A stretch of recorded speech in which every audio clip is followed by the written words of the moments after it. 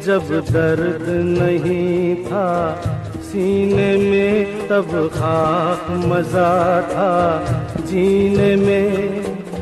अब के शायद हम भी रोए, सावन के महीने में जब दर्द नहीं था, सीने में तब खाक मज़ा था